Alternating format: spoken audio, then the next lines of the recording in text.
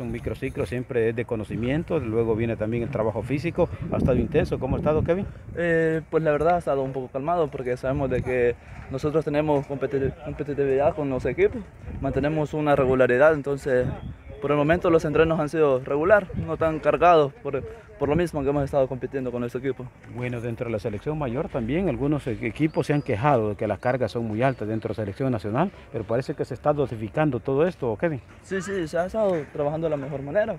Los entrenos han sido tranquilos, por decirlo así. Y pues ahí vamos trabajando ya con miras ya el torneo UNCAF. Hay mucha competencia también por la edad, hay una amplia gama de jugadores de esta edad, Kevin.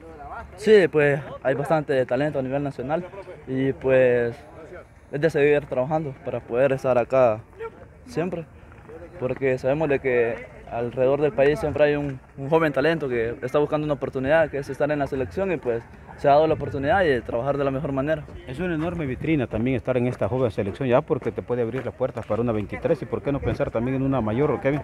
Sí, sabemos de que eso es una vitrina, que es algo que nosotros al futuro nos puede servir de algo para poder ser llamado a cualquier equipo de Liga Mayor o incluso el extranjero, como tú lo dices. Bueno, a esta edad también es donde todo el mundo anda buscando jóvenes valores para poder llevárselo fuera del país, es de aprovechar al máximo. Sí, es de aprovechar eso, porque sabemos, como tú lo dijiste, eso es una vitrina. Podemos ir al torneo un café, dar una buena imagen y de eso alguien se puede fijar en nosotros y sacarnos del país. Gracias, Kevin. Bueno, muchas gracias a ustedes.